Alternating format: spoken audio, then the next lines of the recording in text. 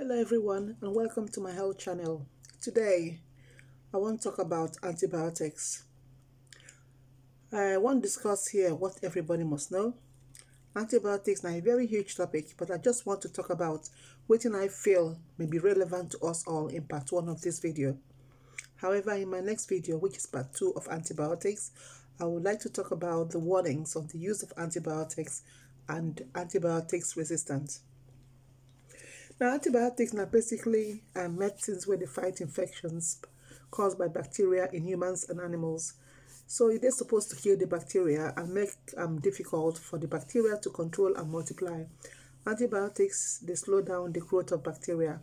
Before I proceed, I would like to recap on what bacteria mean. So, there be germs where they live inside our body. There be germs where they live in the environment where you and I they live. They're very small organisms. Most of these germs know they're harmful. Some they even help people.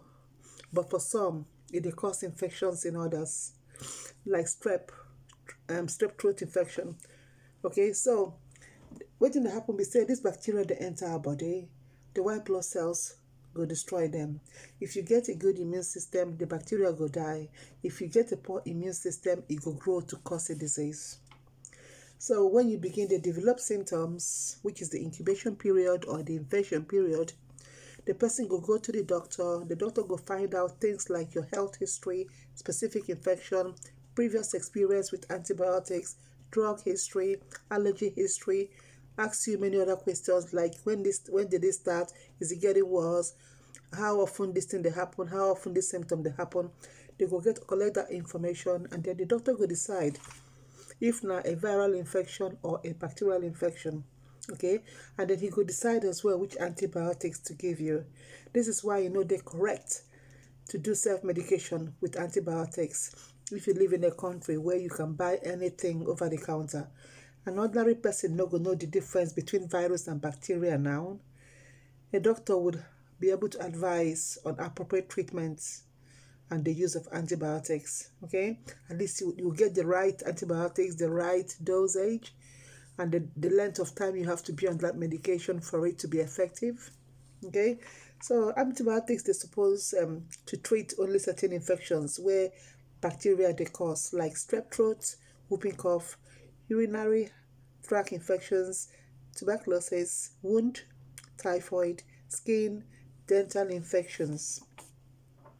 Antibiotics, antibiotics know they work on virus like runny nose, colds, sore throats, flu, and some chest colds. Virus germs, they're different from bacteria.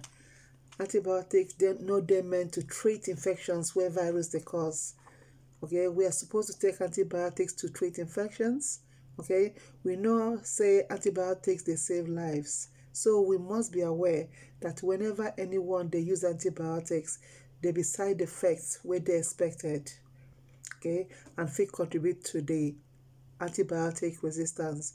So when someone needs antibiotics benefits they outweigh the risk of antibiotic resistance.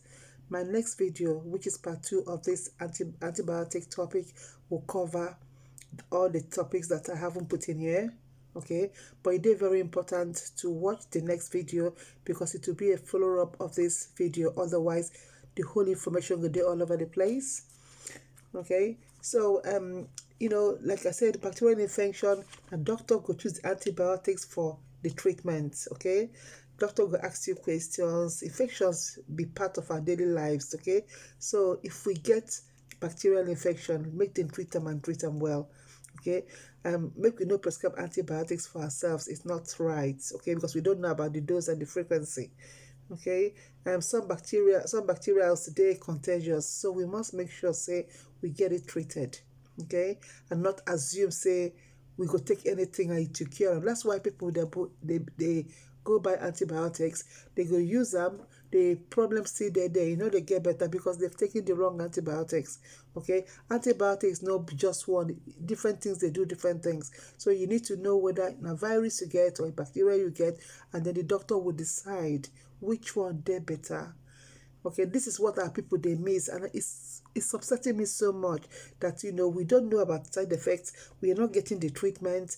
We are overusing misusing the drug okay? And then when we go into hospital the people they spend a longer time there because because of antibiotic resistance which is what i'm going to be talking about in my next video okay? People you can there's no way you can know the difference between a viral viral and a bacterial infection okay? Rely on doctors. That's why they went to school to go and learn and be able to help people okay don't assume and think that any bacteria any antibiotics you pick from the shop will work for you. Sometimes you still get ill for two three weeks and longer and you don't get any better especially people on where they get typhoid. They will take it and they use it and they're not getting any better because they're on the wrong antibiotics okay so please please my people it's very very important that you know they listen. You know be careful. Make we make sure say when we take antibiotic it will work. It's a very good drug but we abuse them in developing countries. That's the problem. Okay? Watch out for my for my part two of the next video. Please share video to your friends. Subscribe like and follow my page. Thank you very much and catch you all soon